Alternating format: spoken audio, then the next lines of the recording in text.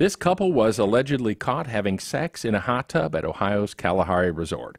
That's according to the Sandusky Register. The man then escaped a police car.